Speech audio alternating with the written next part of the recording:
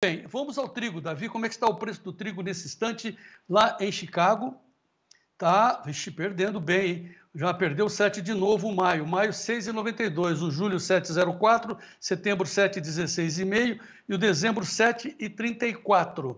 Agenda do trigo no ar. Marcelo Debaco, segue em frente, Davi.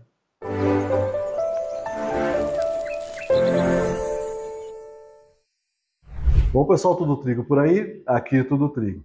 Então, pessoal, a gente percebe aí a situação do câmbio, 507, é já deu a mínima, né? É importante olhar para quem tem que comprar insumo, talvez hoje seja um bom dia para ligar para os seus vendedores e tentar negociar alguma coisa com eles.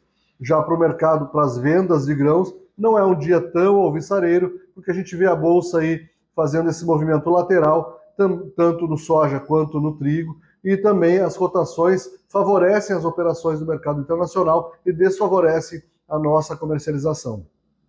Especialmente o trigo americano, e fica melhor cotado num dia que nem hoje, com essa desvalorização do dólar frente a outras moedas, mas mesmo assim, alguns fundos realizam as suas eh, liquidações aproveitando a proximidade do final de semana e do relatório. Vamos ficar atentos a isso. Meu nome é Marcelo Debaco, falo para Debaco Corretor. Um forte abraço, fique conosco.